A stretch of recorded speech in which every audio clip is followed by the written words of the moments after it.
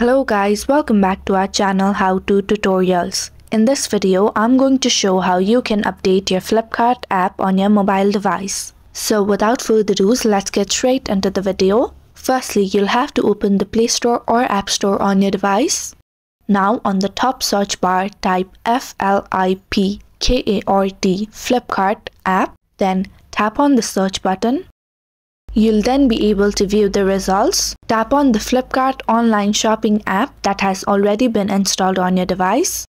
Now, if you have an update available, you'll be able to see an update button in place of the open button.